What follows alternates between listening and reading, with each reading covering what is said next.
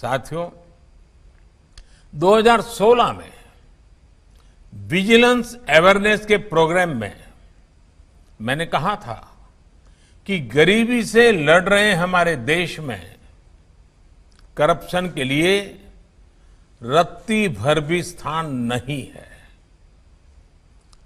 Corruption का सबसे ज़्यादा प्रभाव, सबसे ज़्यादा नुकसान अगर कोई उठाता है तो वो देश का गरीब ही उठाता है। ईमानदार व्यक्ति को परेशानी आती है।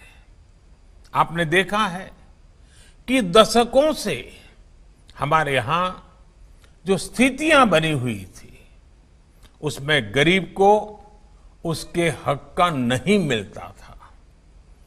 पहले की परिस्थितियाँ कुछ और थी, पर अब आप देख रहे हैं कि डीबीटी के माध्यम से गरीबों की मिलने वाला लाभ शत प्रतिशत गरीबों तक सीधे पहुँच रहा है।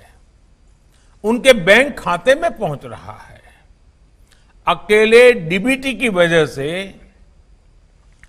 एक लाख सत्तर हज़ार करोड़ रुपए से ज़्यादा गलत हाथों में जाने से बच रहे हैं। आज ये वर्ग के साथ कहा जा सकता है और हम गर्व के साथ कहा जा सकता है कि हज़ारों करोड़ के घोटालों वाले उस दौर को देश पीछे छोड़ चुका है। आज हमें संतोष है कि देश के इंस्टीट्यूशंस में आम जन का भरोसा फिर से बढ़ा है। एक पॉजिटिविटी क्रिएट हुई है।